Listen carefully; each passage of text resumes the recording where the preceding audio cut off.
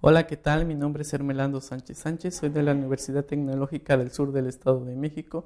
He sido becario de excelencia educativa, el cual tuve la oportunidad de viajar al extranjero, a Perú.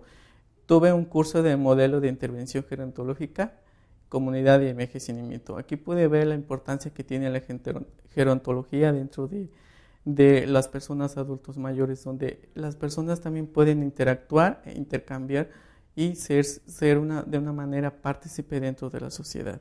También podemos ver que las personas pueden sobresalir con distintas actividades en las cuales pueden ellos ejercer o interactuar su condición física.